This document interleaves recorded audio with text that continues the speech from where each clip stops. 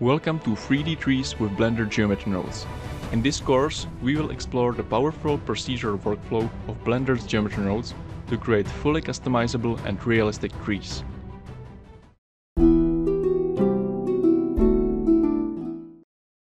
From generating organic trunk structures to finally distributing leaves, you will learn how to craft natural-looking trees with procedural flexibility. By the end of this course, you will have the skills to create trees ranging from ancient oaks to delicate bonsai, all controlled by easy-to-use parameters.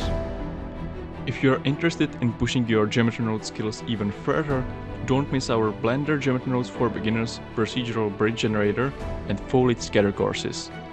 These will help you refine your procedural modeling techniques and create stunning 3D environments filled with foliage, architecture and more.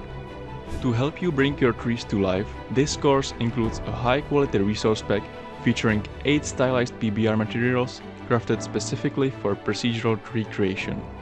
You'll get cherry and oak bark, blossomed and non-blossomed cherry branches, and seasonal oak leaves for summer, autumn and spring plus cherry petals for stunning falling leaf effect.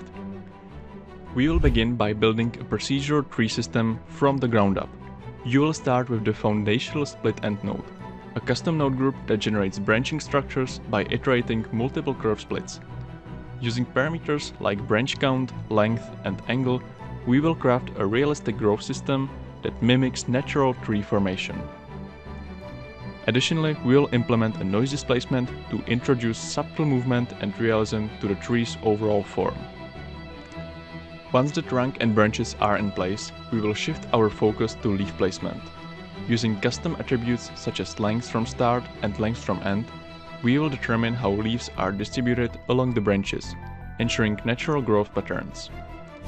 Next, we will extend our procedural system to generate roots, by modifying the branch system to reverse its direction, we will create an underground root structure that connects seamlessly with the trunk. Finally, we will explore UV mapping techniques, ensuring that bark and foliage materials are applied seamlessly. In the final section, we will integrate a simple particle system to simulate falling leaves. Using Blender's simulation zone, we will generate and animate leaves that detach from branches over time.